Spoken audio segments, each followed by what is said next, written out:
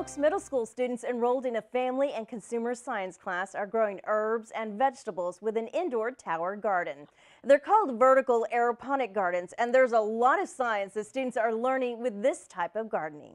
Okay, so you're gonna layer it. Remember, you're not gonna look like that picture, okay? Mrs. Priscilla Prather teaches family and consumer science, which in the past was known as homemaking. While there's still cooking and baking being taught as part of the curriculum, students are also learning about food sustainability by growing their own. We're so used to our plants and our food being available to us at the grocery store that learning the science of how food grows and how we can harvest it, there's huge benefits to that. The gardens have created a science lesson as students learn about simulated sunlight needed for indoor plants and continuous water flow that provides fresh oxygen. There's like no pesticides used, so it's just like all water and minerals. There's also testing and measuring involved to control the right amount of water. Every once in a while, the pH balance, which is how much nutrients you have in it, will get off from a time to time. So I was over there checking to make sure that we have enough nutrients.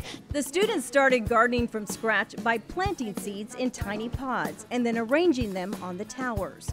Various types of lettuce and herbs can be seen growing like weeds, so the students are constantly harvesting. Learning about harvesting, I mean, it's pretty cool because you get to pick your, out your own plants that you've grown, and, and especially in our classroom. And then also, also cooking with it is a lot of fun too. They're also cooking what they grow, lots of salads and incorporating fresh herbs into their main dishes. Some of the vegetables have been slower to grow, and this reminds the students that gardening can be a science experiment. So they continue to water, supply artificial sunlight, and they even play a role in helping the plants produce fruit. We've got bell peppers growing on the tower. We have blooms, we're pollinating those, and we're hoping and praying that those actually produce some fruit because it's a self-pollinating plant.